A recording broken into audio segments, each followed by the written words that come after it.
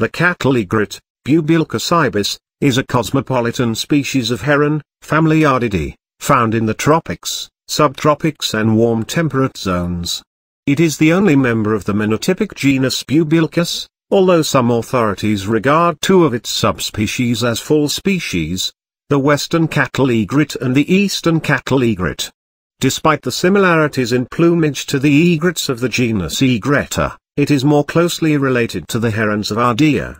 Originally native to parts of Asia, Africa and Europe, it has undergone a rapid expansion in its distribution and successfully colonized much of the rest of the world in the last century.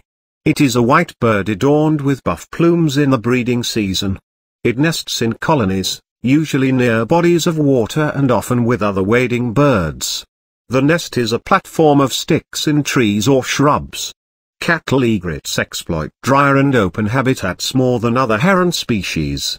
Their feeding habitats include seasonally inundated grasslands, pastures, farmlands, wetlands and rice paddies. They often accompany cattle or other large mammals, catching insect and small vertebrate prey disturbed by these animals.